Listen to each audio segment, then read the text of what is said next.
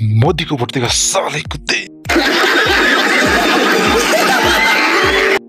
बोला था साला अखिलेश को वोट देना नहीं दिया साला कुत्ते कमीने मार दूँगा। मैं तो मोदी के वोट देबू मोह मोदी के वोट देबू तो जे करना है कर ले। जो भी मोदी को वोट देगा उसका हाथ मैं काट दूँगा उसका हाथ ही नहीं रहेगा तो कैसे वोट देगा? साला चलो रे निकलो।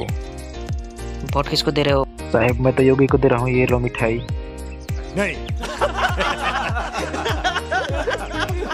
पहले ये बताओ माल कितना देगा क्रिस को वोट देने के लिए? रेट फिक्स है एक वोट का पाँच सौ रुपया।